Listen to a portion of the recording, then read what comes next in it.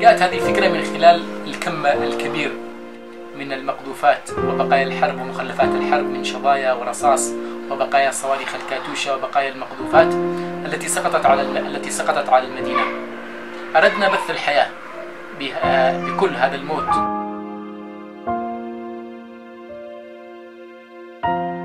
أردنا أيضا تسليط الضوء على معاناة المدينة ومعاناة المواطنين من خلال هذه الأدوات التي سقطت على على على المدنيين.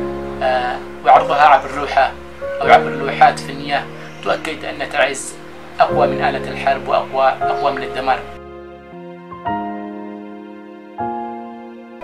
الأمل الذي رسمناه في في هذه الجمادات رأيناه في عيون الناس في عيون الزائرين. بتشجيعهم بكسر جمود الحرب التي خيمت على تفاصيل الحياة على على مدينة تعز.